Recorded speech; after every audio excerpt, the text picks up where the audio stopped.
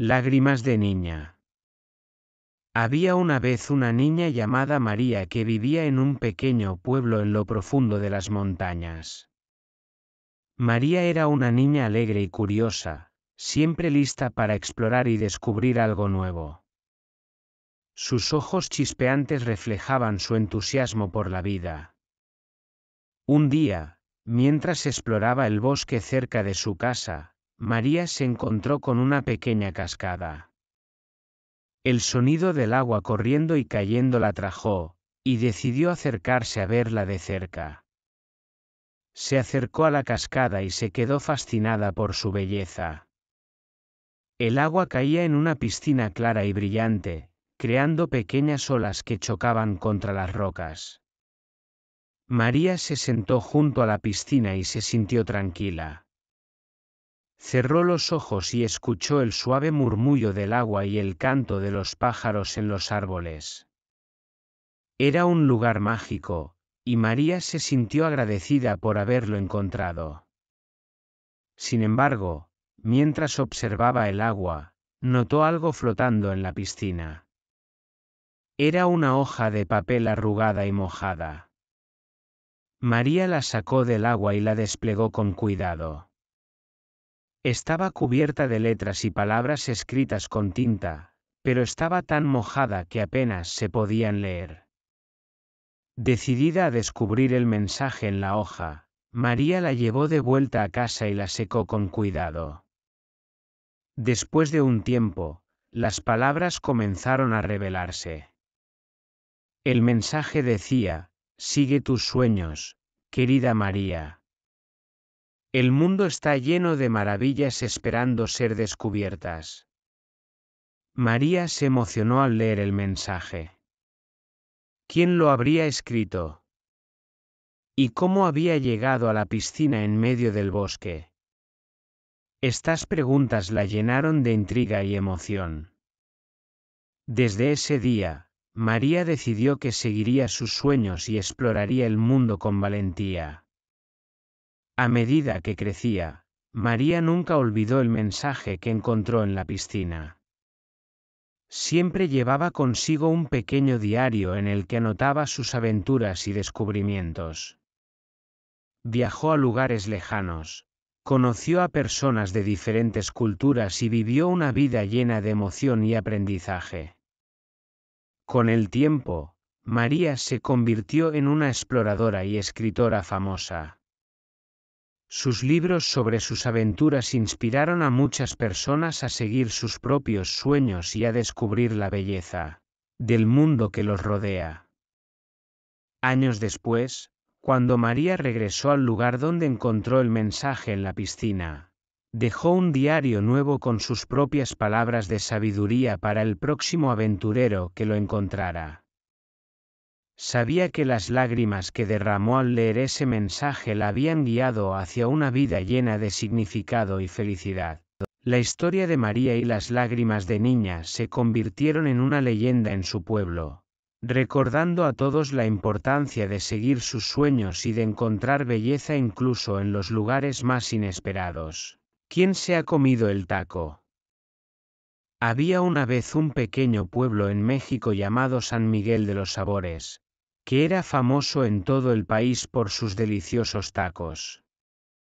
Los habitantes de este pueblo eran apasionados por la comida, y cada semana celebraban un concurso de tacos en el que los cocineros locales competían para crear el taco más sabroso y creativo. El concurso de tacos era un evento muy esperado, y todos los habitantes del pueblo se reunían en la plaza principal para probar los deliciosos platillos. Había tacos de carne asada, tacos al pastor, tacos de pescado, tacos vegetarianos y muchos más. Cada cocinero ponía su corazón y alma en la preparación de sus tacos, y la competencia era feroz. Un año, el concurso de tacos se acercaba rápidamente, y todos estaban ansiosos por ver quién sería el ganador.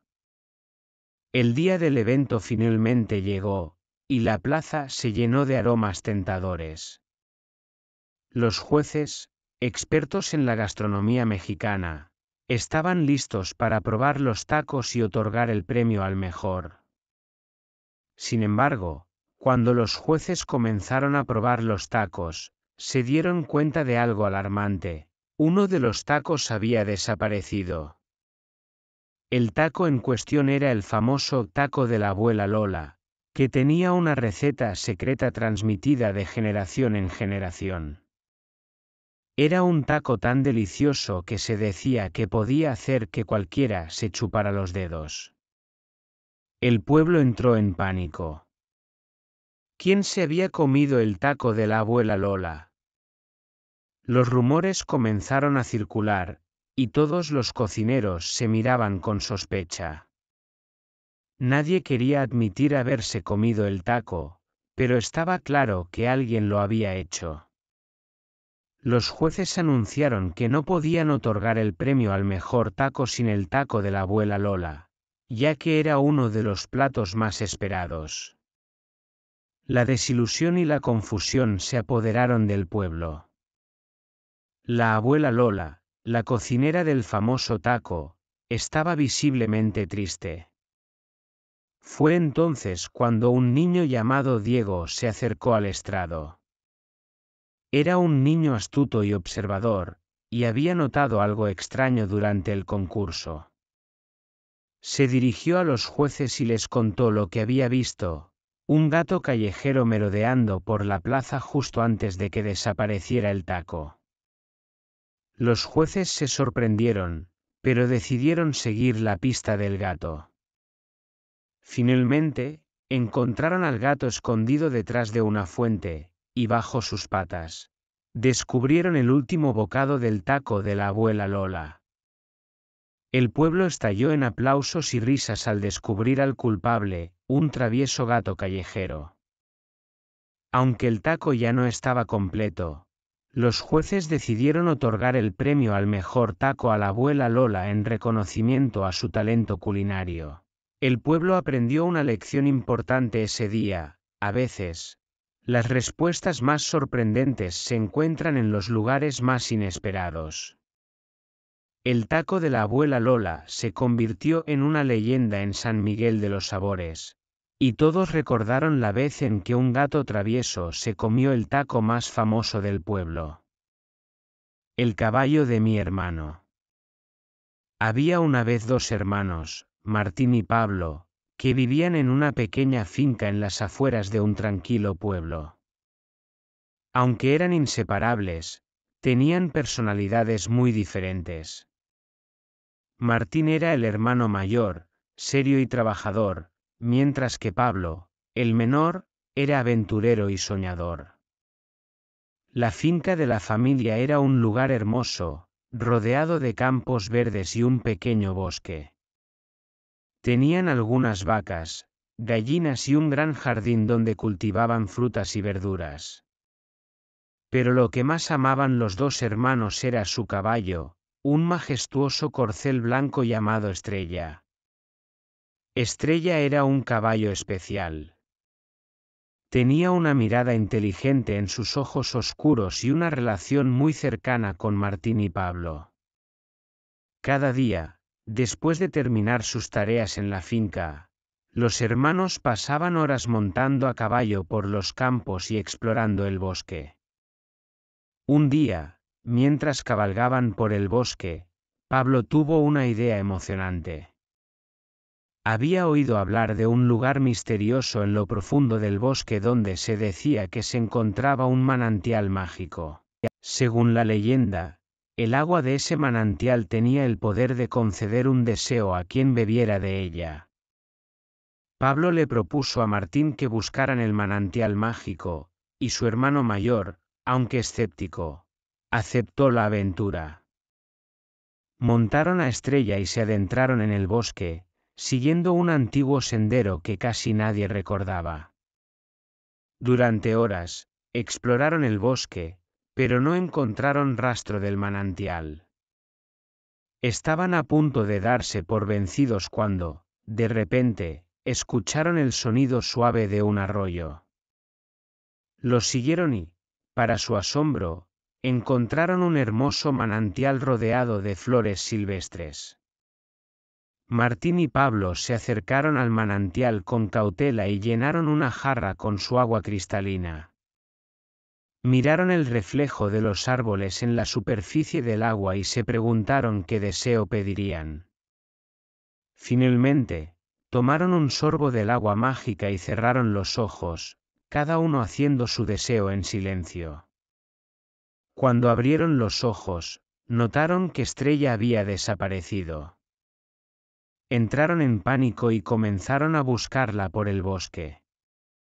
Después de un rato de búsqueda frenética, encontraron a Estrella unos metros más adelante, pero algo había cambiado.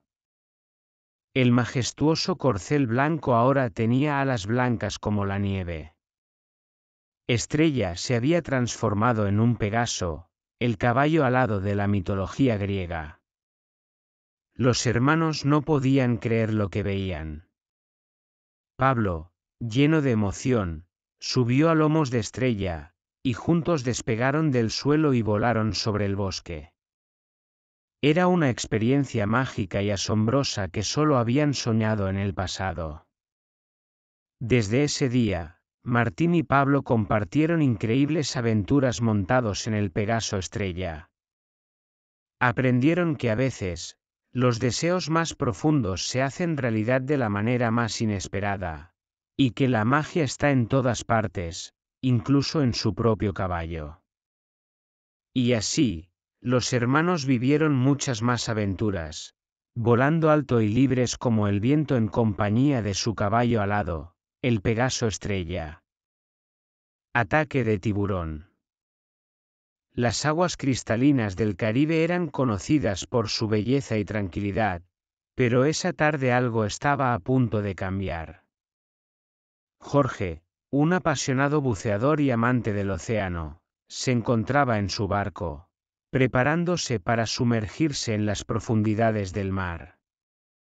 Jorge había pasado toda su vida explorando los misterios del océano, y esta vez tenía la intención de bucear en una zona poco explorada cerca de un arrecife de coral. Acompañado por su fiel amigo y compañero de buceo, Luis, se sumergieron en el agua con sus equipos de buceo. La visibilidad bajo el agua era impresionante, y Jorge y Luis disfrutaron de la belleza del arrecife de coral. Nadaron junto a coloridos peces tropicales y observaron la majestuosidad de las formaciones de coral. Todo parecía perfecto, hasta que Jorge notó algo inusual en la distancia. Un enorme tiburón blanco se acercaba rápidamente a ellos. Jorge y Luis se miraron con preocupación mientras el tiburón se movía con gracia a través del agua. Sabían que no debían entrar en pánico, pero la adrenalina comenzó a bombear en sus venas. El tiburón se acercó cada vez más, y Jorge pudo ver los afilados dientes del depredador. Intentaron mantenerse tranquilos y juntos, nadando lentamente hacia el barco. Sin embargo, el tiburón continuaba siguiéndolos, y su presencia era cada vez más inquietante. Luis comenzó a agitar su tanque de oxígeno para tratar de asustar al tiburón, pero esto solo pareció enfurecerlo más.